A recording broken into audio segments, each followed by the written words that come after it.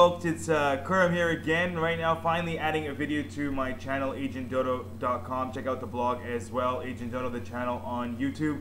Uh, gonna take a little uh, dab at cricket, uh, no football, although England is playing against uh, Ghana in a friendly at Wembley today with Gareth Barry uh, taking the lead reins for England. Looks like it could be a draw over there, but we're not going to get into that. Uh, the biggest thing that everyone's been talking about since Thursday, since Australia lost in the quarterfinal to India, uh, everyone's been talking about Pakistan versus India. I've been talking about it on the radio over and over and over again. I've talked to a lot of people all over Pakistan uh, via the telephone, on the radio, and everyone, alhamdulillah, is uh, positive about Pakistan winning, and everyone is going to be on the prayer mat for sure, and everyone's going to be keeping keeping the prayers coming and hoping that Pakistan can do well in Mohali against India. India, though, you have to you have to call a spade a spade, right?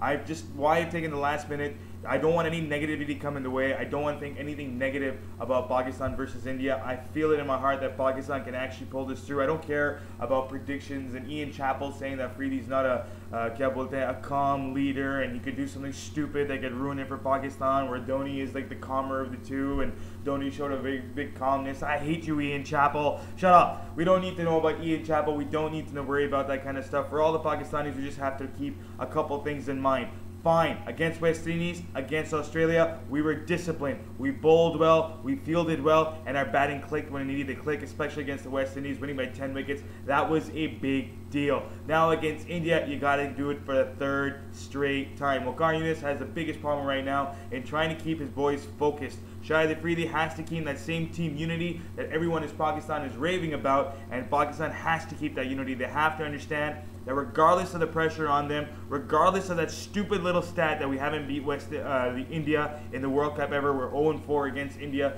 in World Cups.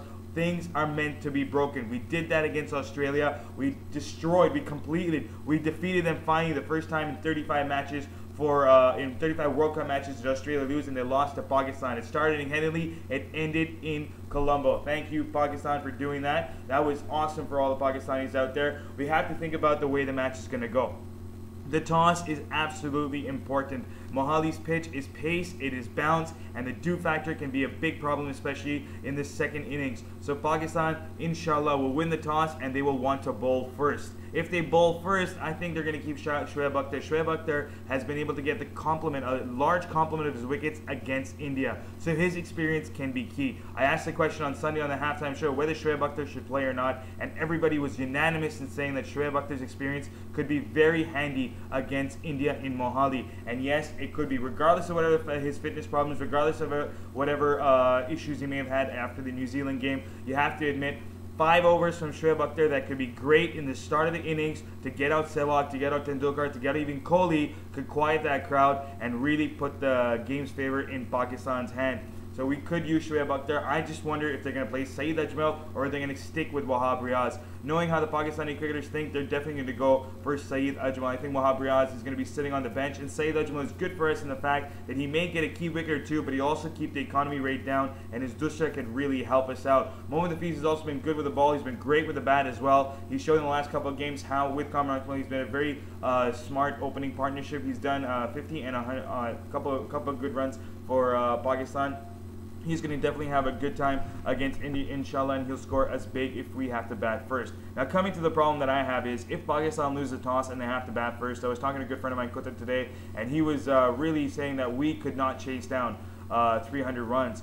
And if we batted first, against an Indian bowling. If you look at Bhajji, you look at Harbhajan Singh against Australia in seven overs, they only allowed 21 runs. So he keeps it economical. Ashwin has been like uh, something good for the pace attack for India right now, especially when it comes to Zaheer Khan. With the bench the way it is in the start of that match, bouncy and moving on the seam, you could say Zaheer Khan could have a field day if India bowl first. Our middle order batsman, uh, namely Misbah Haq, inshallah, some luck on his side and he won't get a terrible ball again. He'll be able to get some runs. Younis Khan is able to score 117 in 2007 on the same pitch in Mohali. So hopefully they can play some very smart cricket if they are batting first. They need to keep a target of at least 300. If they bat first and Pakistan get a target of 300, we can win. I think our bowlers can defend a 300 uh, run target, regardless of how potent uh, the Indian uh, batting attack is. If you look at the stats, uh, Sehwag does not play well against uh, Pakistan. He's got a low average. Uh, Tendulkar has a lower than career average against Pakistan. The two most dangerous people is going to be Dhoni and it's going to be Yuvraj Singh. And Suresh Raina can add some runs as well. Don't forget Gautam Gambhir. He's in good form as well. You may say Dhoni has not been good with the bat uh, in the World Cup so far, but I know that captain. Mahendra Singh Dhoni,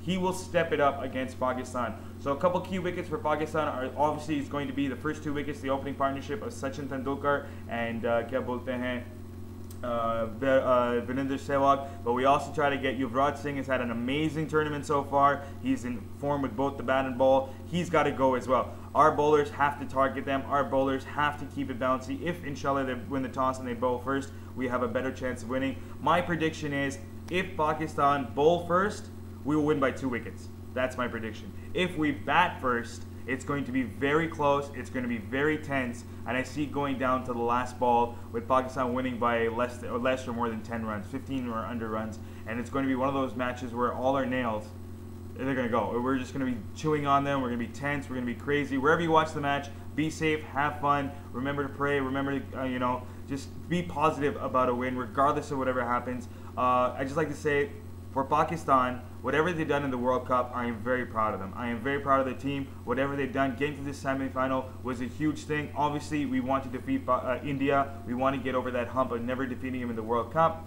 Uh, there's a lot of stats that I'm leaving out. I know that uh, Mohammad uh, Kebal, Younis Khan, has had a favorable time against India in the last eight ODIs. He scored a couple centuries, so he is good to go, and I think he will step up his game against uh, India. I'm hoping Umar Gul can gra- grab a couple wickets, and I want Shahid Khan Afridi, who's sitting at 21 wickets, to defeat Glenn McGrath's uh, uh, stat or record. उसने 27 wicket एक world cup में हासिल किया That is the highest by any bowler. Bowler 27 wicket. If Shahid Afridi can get 4 wickets now and 4 wickets in the next game, he'll have 29 and that would be a tough uh, record to break inshallah ta'ala we'll make it to the final this is just a short video just wanted to put my prediction up there just say it again if pakistan bowl first we win by two wickets. If we bat first, then we're going to win by 15 or less runs. That is my prediction. What is your prediction? Leave it in the comments or uh, go to my blog, www.agentdodo.com, or check me out on uh, Facebook, Super Football Show. We're hopefully going to start up after the World Cup, and uh, stay tuned to the halftime show on Radio 1 FM 91. It's going to come on Sunday, and hopefully on Saturday we'll be in the final, and I'll uh, put up another video on Friday. Made it short, made it sweet. Pakistan versus India. If you talk about the advertising uh, revenue, 18 lakh rupees for 10 seconds on ESPN Star Sports, zero on Khurram's channel. So if you wanted to advertise, make a video and just put it up on that channel as well. Why the hell not? Pakistan's in the butt. I know, I know. Just stay positive. Pakistan, inshallah, will win. Uh, what's your prediction? Let me know on the comments. Bye.